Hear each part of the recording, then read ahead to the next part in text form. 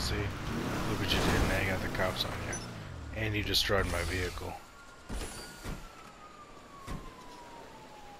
Or did I? The fuck? How? There you go. I You're don't welcome. get how that shit works. I, I made sure I washed it off. I guess. That was weird.